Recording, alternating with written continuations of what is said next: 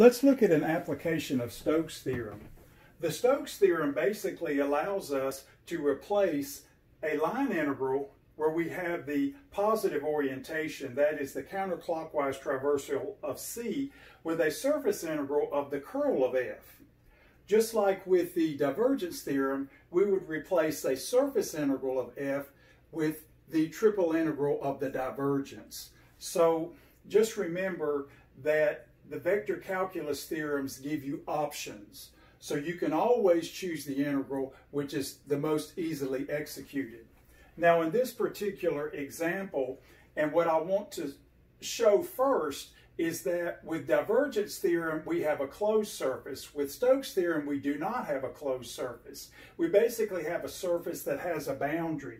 And in this particular case, the surface is the upper hemisphere, and so the boundary would just be the unit circle traversed with the positive or counterclockwise orientation. So just remember divergence theorem, closed surface, Stokes' theorem, non-closed surface. Now our vector field in this case is negative y plus z, comma x minus z, comma x minus y. So when we use Stokes' theorem, we need the curl and we need the normal. Now just to remind you how this is similar to the calculations that we've done before is that when we compute a unit normal, it looks like this. And the element of surface area, in this case, looks like this. So when we compute this particular integral, the norms, just like it has done before, will absorb. And so you don't really have to compute this object because in the final analysis, it goes away. So we don't have to formally write the unit normal. So our calculations will obviously include this particular calculation, the Rx cross Ry, which we have here, and also for this computation, we need the curl. So those are the really only two things you need to focus on. And then, of course, with the surface integral, we're going to have a region.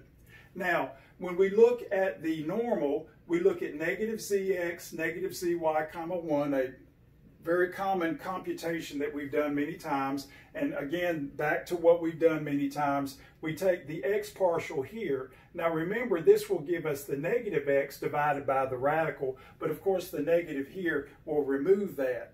And in a parallel computation, the negative zy will just be y divided by the radical, 1 minus x squared minus y squared. And then, of course, the 1 just comes in for free. So now what we need to do is to compute the curl of the vector field. So basically, you can write it this way. You can write curl if you like, but remember this is just the nabla operator crossed with the vector field. And so we do 2, 3, 3, 2. So 2, 3 in this case will give us a negative 1. And then 3, 2 in this case will also give us a negative 1, but we subtract, so we have negative 1 plus 1. And then 3, 1 will give us a 1. And then 1, 3 will also give us a 1. 1 minus 1, that'll give us a 0. And then lastly, 1, 2 will give us a 1. And 2, 1 will give us a negative 1. 1 minus the negative 1 gives us 1 plus 1. So we get a curl of 0, 0, 2. Now, the theorem, just like the divergence theorem, says you can replace the integral, or the line integral here about C, with the surface integral of the curl.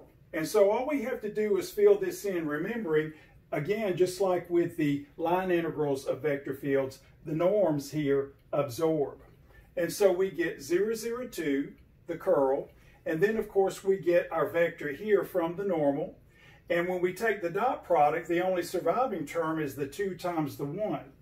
Now, of course, we wish all integrals would be this simple. So basically, we get the double integral when you factor the 2 of the uh, dA computed against x squared plus y squared less than or equal to 1. Well, this object here, of course, is just the area of the unit circle right here.